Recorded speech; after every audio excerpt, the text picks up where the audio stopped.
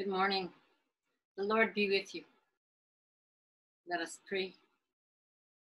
Holy and immortal God, as we enter into this holy week, turn our hearts to Jerusalem, so that united with Christ and all the faithful, we may enter the city not made with hands, your promised realm of justice and peace, eternal from age to age.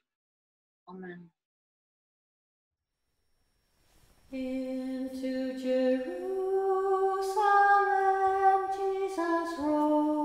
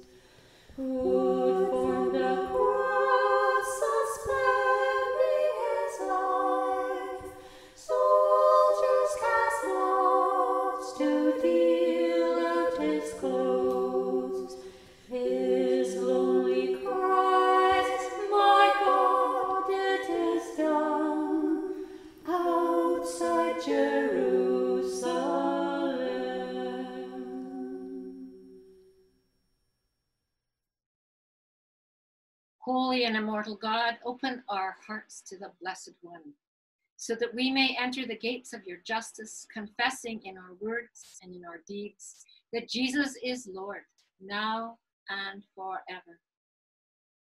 Amen.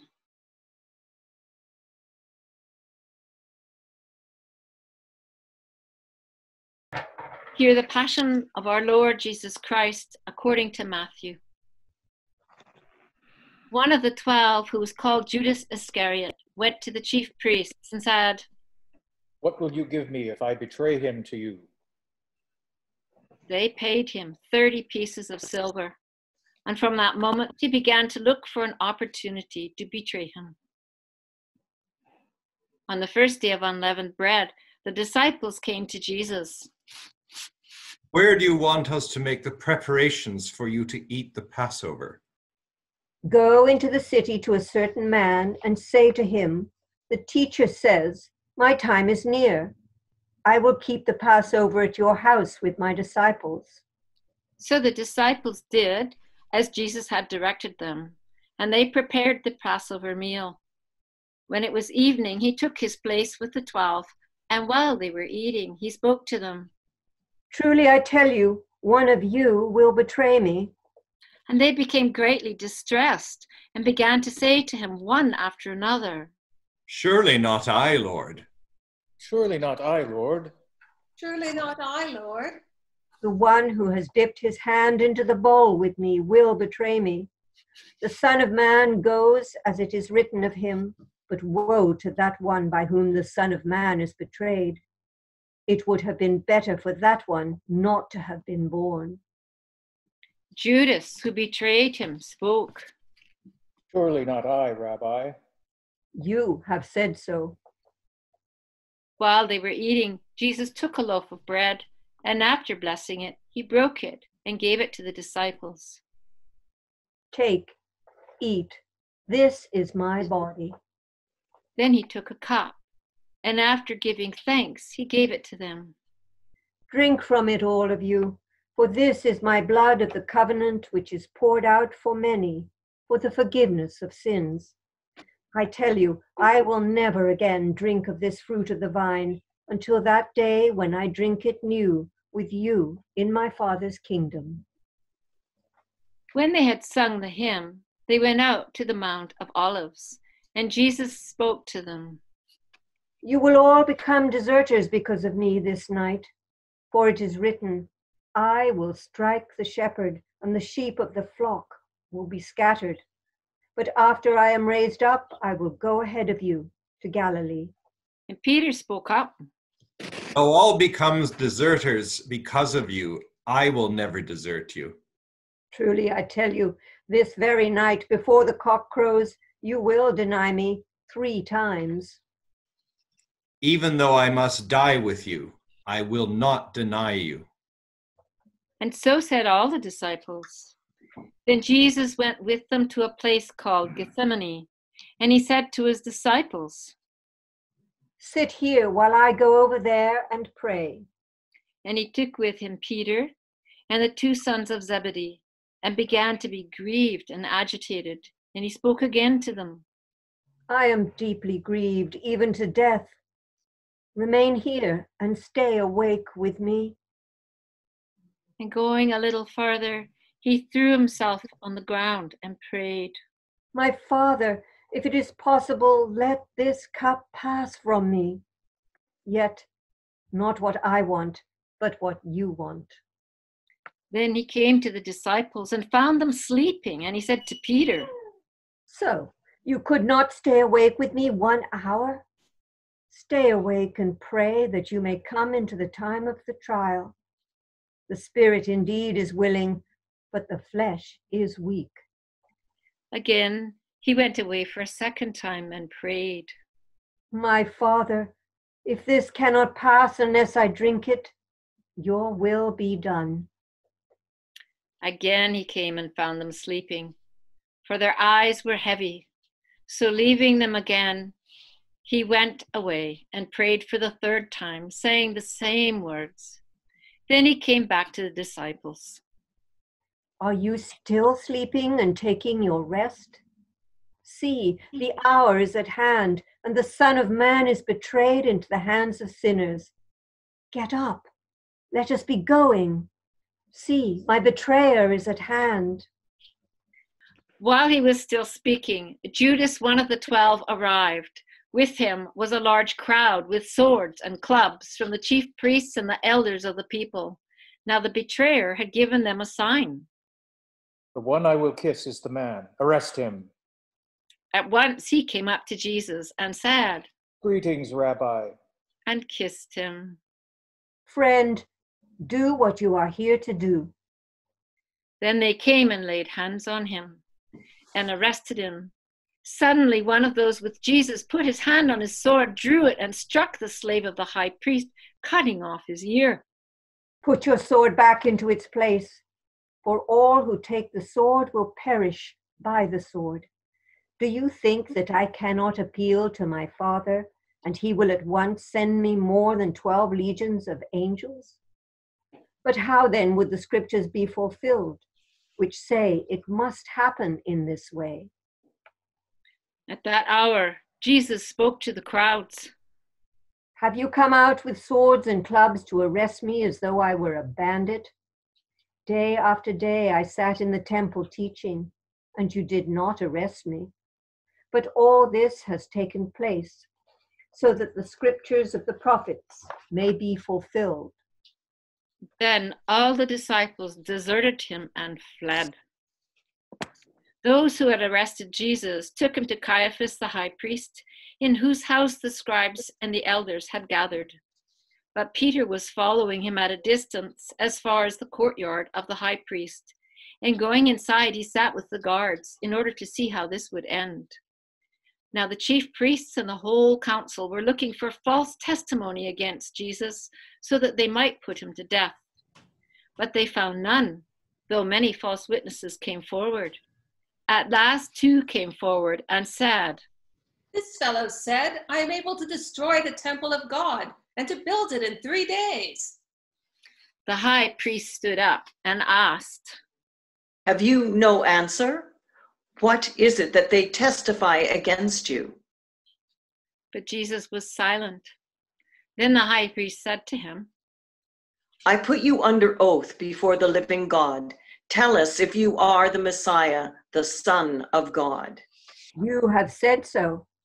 But I tell you, from now on you will see the Son of Man seated at the right hand of power and coming on the clouds of heaven. Then the high priest tore his clothes. He has blasphemed. Why do we still need witnesses? You have now heard his blasphemy. What is your verdict? And they all answered. He deserves death. Then they spat in his face and struck him, and some slapped him, saying, Prophesy to us, you Messiah. Who is it that struck you? Now Peter was sitting outside in the courtyard. A servant girl came up to him. You also were with Jesus the Galilean. But he denied it before all of them. I do not know what you're talking about. When he went out to the porch, another servant girl saw him, and she said to the bystanders, This man was with Jesus of Nazareth. Again, he denied it with an oath. I do not know the man. After a little while, the bystanders came up and said to Peter, Certainly, you are also one of them, for your accent betrays you. Then he began to curse and he swore an oath. I do not know the man. At that moment, the cock crowed. Then Peter remembered what Jesus had said Before the cock crows, you will deny me three times. And he went out and wept bitterly. When morning came, all the chief priests and the elders of the people conferred together against Jesus in order to bring about his death. They bound him, led him away, and handed him over to Pilate, the governor. When Judas, his betrayer, saw that Jesus was condemned, he repented and brought back the thirty pieces of silver to the chief priests and the elders. I have sinned by betraying innocent blood. But they said, What is that to us? See to it yourself. Throwing down the pieces of silver in the temple, he departed and he went and hanged himself. But the chief priests, using the pieces of silver, said, It is not lawful to put them into the treasury, since they are blood money. After conferring together, they used them to buy the potter's field as a place to bury foreigners. For this reason, that field has been called the field of blood to this day. Then was fulfilled what had been spoken through the prophet Jeremiah. And they took the thirty pieces of silver, the price of the one on whom a price had been set, on whom some of the people of Israel had set a price, and they gave them for the potter's field as the Lord commanded me. Jesus stood before the governor, and the governor asked him, Are you the king of the Jews? You say so. But when he was accused by the chief priests and elders, he did not answer. Do you not hear how many accusations they make against you? But he gave him no answer, not even to a single charge, so that the governor was greatly amazed. Now at the festival, the governor was accustomed to release a prisoner for the crowd, anyone whom they wanted. At that time, they had a notorious prisoner called Jesus Barabbas. So after they'd gathered, Pilate spoke to the crowd. Whom do you want me to release for you, Jesus Barabbas or Jesus who is called the Messiah? For he realized it was out of jealousy that they'd handed him over. While he was sitting on the judgment seat, his wife sent word to him Have nothing to do with that innocent man, for today I have suffered a great deal because of a dream about him. Now the chief priests and the elders persuaded the crowds to ask for Barabbas and to have Jesus killed. Which of the two do you want me to release to you? Barabbas. Then what shall I do with Jesus who is called the Messiah? And they all spoke. Let him be crucified. Why? What evil has he done? But they all shouted the more. Let him be crucified. So when Pilate saw that he could do nothing, but rather that a riot was beginning, he took some water and washed his hands before the crowd.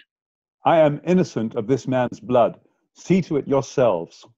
Then the people as a whole answered, His blood be on us and on our children.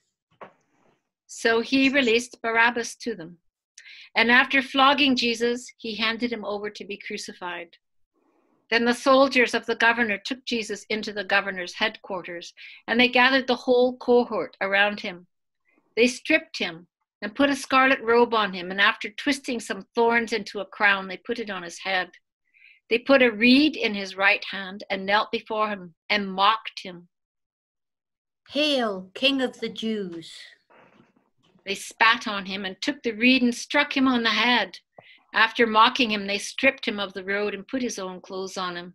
Then they led him away to crucify him. As they went out, there came a man from Cyrene named Simon.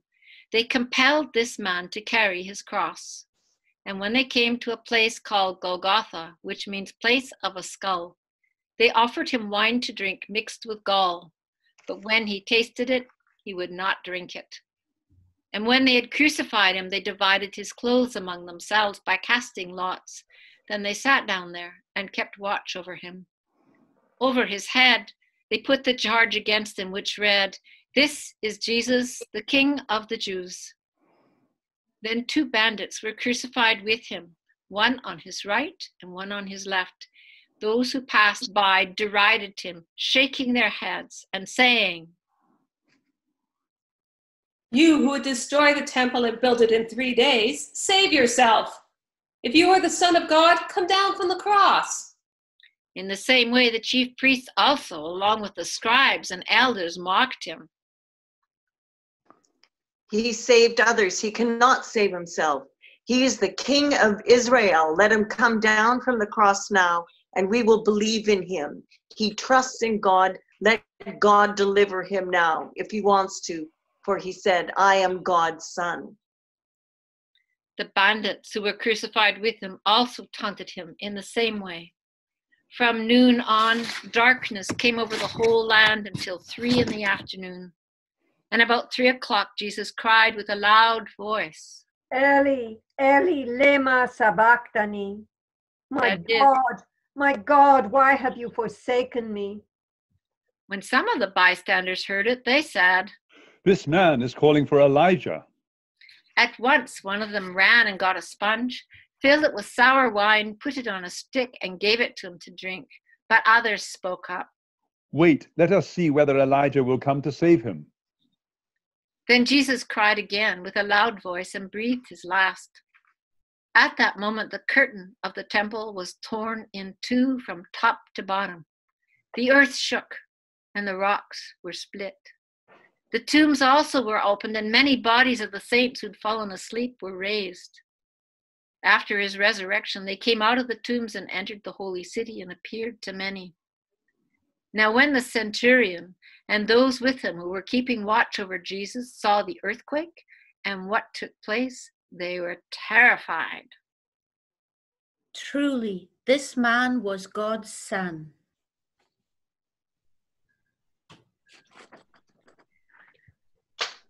Many women were also there, looking on from a distance. They had followed Jesus from Galilee and had provided for him. Among them were Mary Magdalene and Mary, the mother of James and Joseph, and the mother of the sons of Zebedee. When it was evening, there came a rich man from Arimathea named Joseph, who was also a disciple of Jesus. He went to Pilate and asked for the body of Jesus. Then Pilate ordered it to be given to him. So Joseph took the body and wrapped it in a clean linen cloth and laid it in his own new tomb, which he had hewn in the rock. He then rolled a great stone to the door of the tomb and went away. Mary Magdalene and the other Mary were there, sitting opposite the tomb.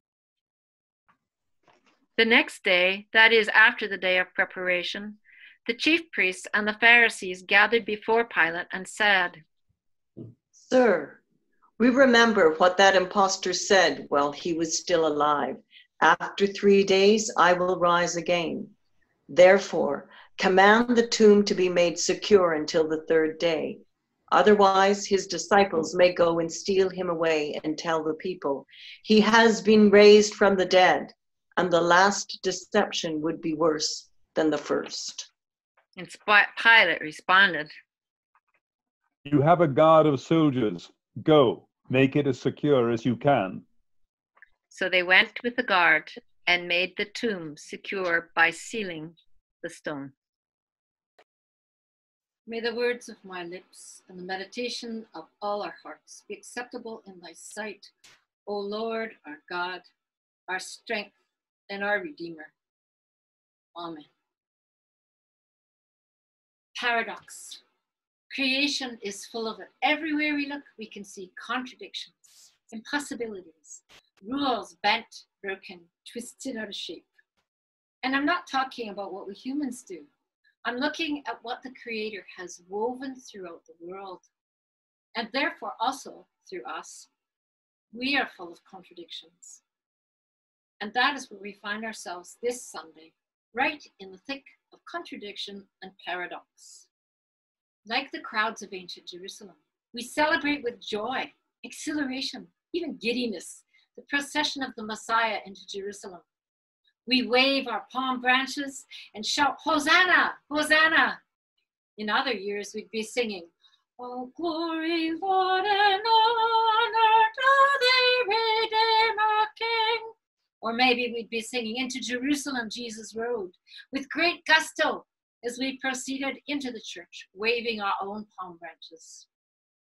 And then, other years, and this year too, we'd listen in silence to the story of the Passion, a story of love and betrayal, of generosity and fear, of God's justice versus the world's justice, contradiction, paradox.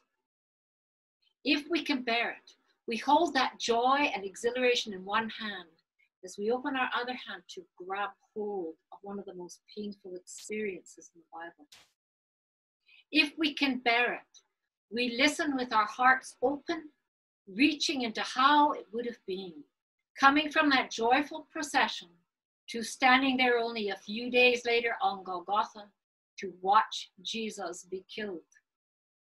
If we can bear it, we can encompass this paradox of joy and grief, love and betrayal, hope and despair, if we can bear it. And then we might find ourselves open to the radical generosity and limitless love that God has for us humans. Doesn't it echo what we're experiencing now? On the one hand, the beauty of spring, the lengthening of the days, the warming of the air, and it feels so good. And then on the other hand, there's the dark threat of this virus, the closing of businesses, the stopping of paychecks, and all the consequences that come with that. It feels so not good. On the one hand, there's the daily increase in numbers of people dying, of medical staff weeping, of families separated, grieving. And on the other hand, there's the dedication of the medical teams, the kindness of strangers reaching out to help each other, the ever increasing expressions of love and gratitude, exchanged through phones and computers with family and friends. We are truly in a time where light and dark weave together, two powerful forces dancing with each other all around us. It's tempting to simply turn our gaze towards next Sunday, to the celebration of Jesus' resurrection, to the return of life, to the loveliness of our identity as Easter people. Tempting, but why would we shortchange ourselves that way? Why would we skip over the grief and fear, the pain and sorrow, which is a powerful pathway into deeper understanding? into fresh insight about our life, into more profound relationship with the Holy of Holies. Here's something I know from my friends who've walked the cancer journey. They tell me when asked, they would never choose to remove that experience from their lives with all its terror, pain, unpleasant medical experiences because they all found ultimately it enriched them, it changed them, it gave them a deeper appreciation for reality, however it shows up. It honed their sensitivity to suffering in others, and it carved out a deep pool of reception for grace to dance in their lives. So, this coming week, I invite you. Step into the hard places of this time with courage, with willingness, with all that you are, and ask God, what is it you are wanting to show me? What is it you are wanting to show me? You just might discover a new kind of love that, to quote Khalil Gibran, Gibran your desire becomes to melt and be like a running brook that wings and sings its melody to the night. To know the pain of too much tenderness, to be wounded by your own understanding of love, and to bleed willingly and joyfully. Amen.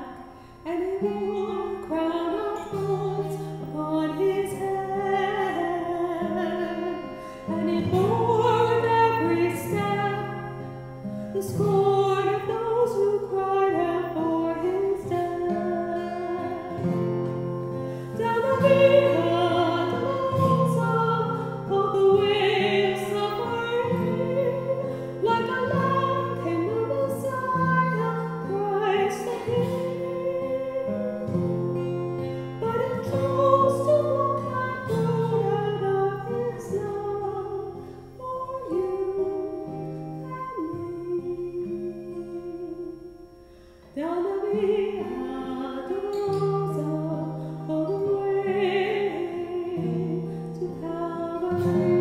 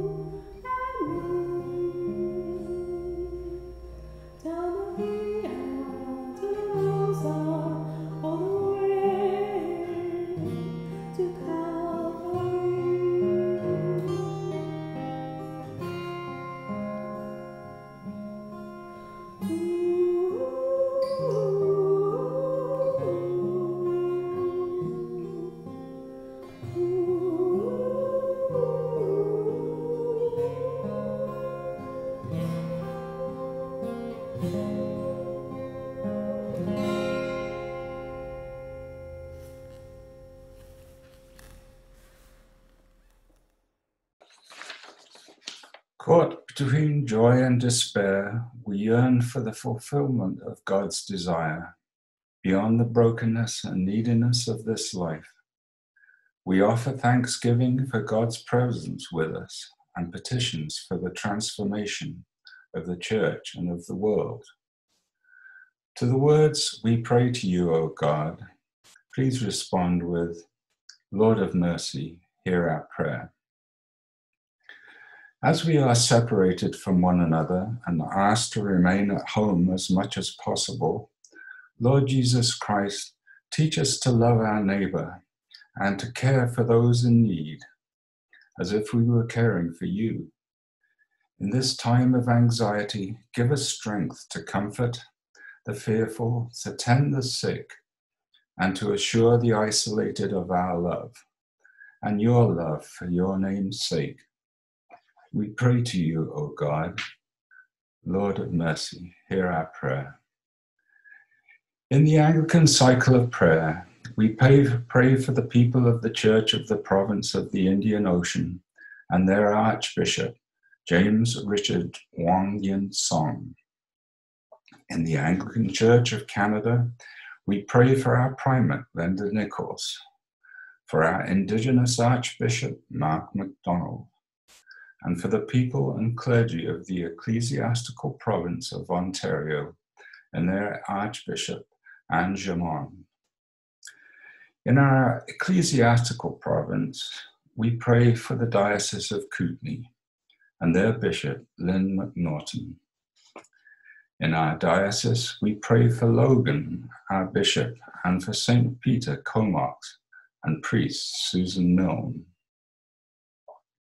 And on our island, we pray for the people of Our Lady of Grace and St. Paul's Historic and their priest, Father Scott Whit- Whitmore. In our parish, we pray, pray especially this week for Sandy and Keith Green, Peter and Mary Grove, Dion Hackett and Cindy Clark, Wilma Haig and Ron Hawkins. We pray to you, O God, Lord of mercy, hear our prayer.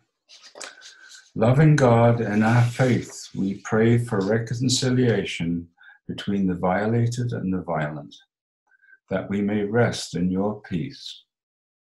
We pray to you, O God, Lord of mercy, hear our prayer.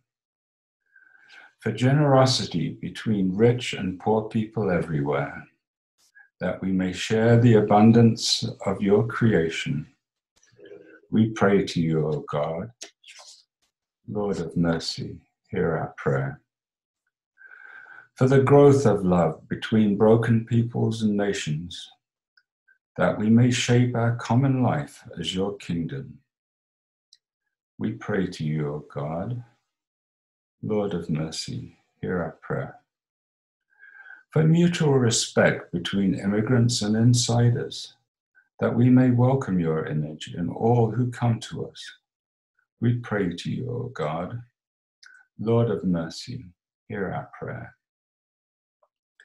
For protection for the weak and humility for the strong, that we may serve others as you serve us in Christ. We pray to you, O God, Lord of mercy, hear our prayer. In this time of pandemic, we give thanks for all caregivers, healthcare workers, and medical researchers. Gracious God, give skill, sympathy, and resilience to all who are caring for the sick, and your wisdom to those searching for a cure. Strengthen them with your spirit, that through their work many will be restored to health. Through Jesus Christ our Lord. We pray to you, O Lord. Lord have mercy, hear our prayer. For all the joys and concerns of our hearts, that we may live with gladness and trust, please name those for whom you have particular concern this week. Brian Radford, Jackie Roussin, Al Robertson, Tony and Pam Brentnell, Linda and Mike Overholt, Ken Strike, Mallory Stewart, Letitia Lane, Nancy and Don McDougall, Gail Hingston, Gordon Chutter, Noreen Davies, and Jim Warren. We pray to you, O God, Lord of mercy, hear our prayer. Life giver, pain bearer, love maker, day by day you sustain the weary with your word and gently encourage us to place our trust in you. Awaken us to the suffering of those around us. Save us from hiding in denials or taunts that deepen the hurt. Give us grace to share one another's burdens in humble service. Amen.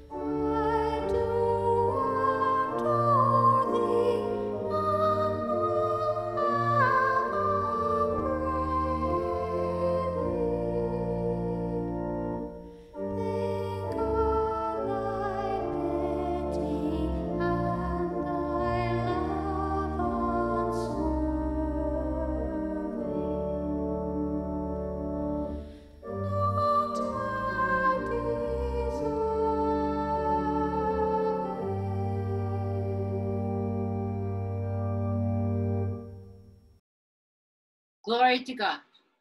whose power working in us can do infinitely more than we can ask or imagine. Glory to God from generation to generation in the church and in Christ Jesus forever and ever. Amen. Friends, good morning. I am so very pleased to be able to speak to you this morning.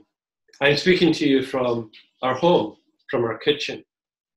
And I thank you for the opportunity of coming into your homes to speak to you this morning. During this extraordinary time, we have been challenged to look at what it means to be the church in different ways, what it means to be the church dispersed. So, as a diocese, as your bishop, I thank you for the creative and innovative ways that you have been trying to be the church in these days. This day is the beginning of Holy Week, it's Palm Sunday. And as we travel this week, we will be asked again to be creative and to use our imagination as we celebrate each step through this week. Thank you for the liturgies and for the work that you have done in preparation. Gather through Zoom or other means with your family and with your friends. Celebrate the resurrection. Celebrate the fact that Christ has risen. And have my blessing. A blessing coming from our home, coming from this kitchen, coming from our hearts to you to say, we continue to be the church, we continue to be the diocese. Although we're apart, we are one in Christ. May God richly bless you as you journey through this holy week. And the blessing of the God who created you, the Son who has befriended you, and the Spirit who has gifted you continue to be with you each and every day. Amen. Go in peace to love and serve the Lord.